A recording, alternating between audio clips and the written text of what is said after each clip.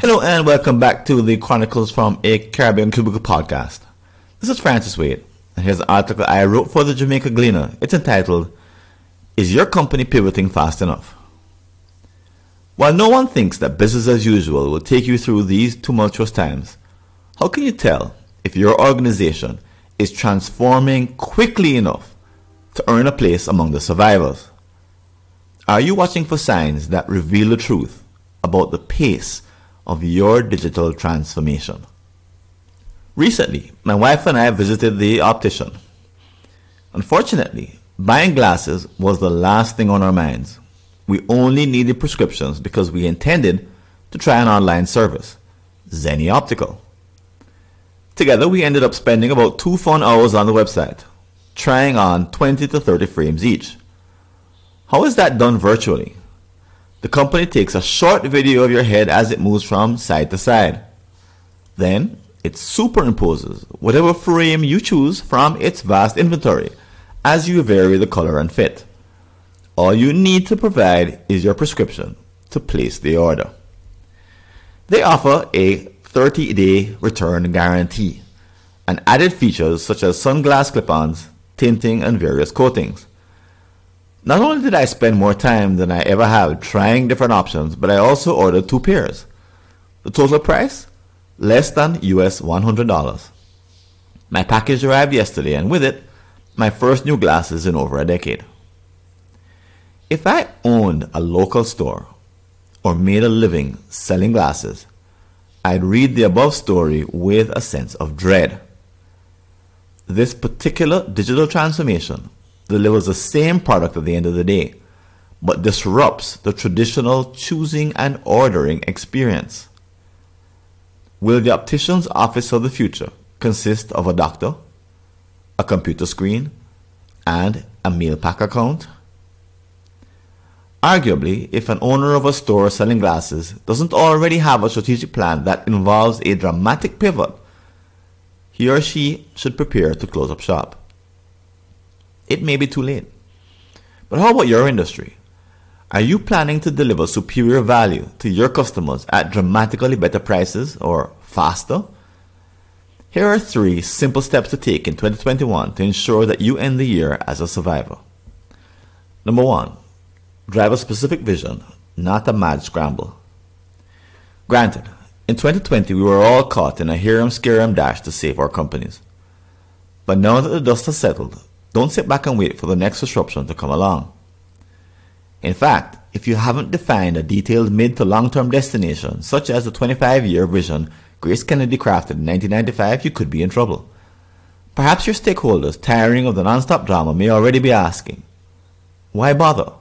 Or, What's the point? Reacting to one crisis or opportunity after another is exhausting, even if you do so effectively. Eventually, customers, employees, and shareholders start looking for alternatives. In fact, you should reject their blind quote unquote loyalty as a temporary glitch. It only lulls you into complacency while delaying their inevitable withdrawal. Keep them engaged by redrawing and recommunicating your preferred vision of the future. Number two, find the best role models. Companies often relax their efforts to hit world class levels, arguing that Jamaican customers are willing to accept a lower standard. The truth is, my optician's customer service has been falling for years, evidenced by the sour looks we received when we informed them of our intentions to purchase elsewhere. My advice? Forget about local competitors. Instead, find the world leader, then push yourself to believe that it's coming to Jamaica soon. Now, build your transformation plans around that presumption, aiming to pivot your business more quickly than others can. This may mean adding capabilities few understand or appreciate.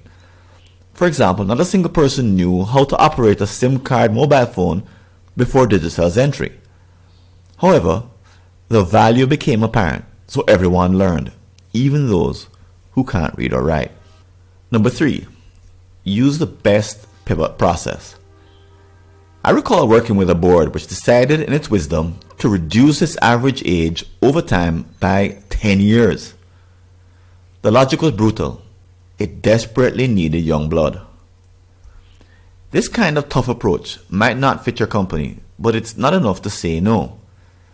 You must create a change plan that works for your environment and delivers the results you want. In other words, you need to manage the transformation in all its dimensions so that you don't miss a step.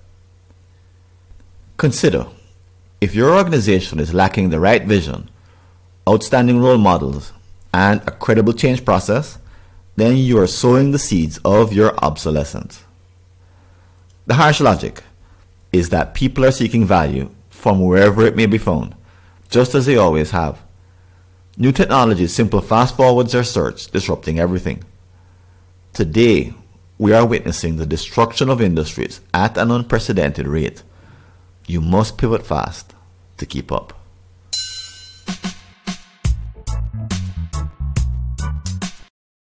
Thanks for listening. Do you have an unsolved problem in your Caribbean company related to strategy, productivity, engagement, or business process improvement? Just visit a searchable listing of all my prior articles and you may be able to help yourself to a fresh line of thinking. Go to blog.fwconsulting.com or see the show notes.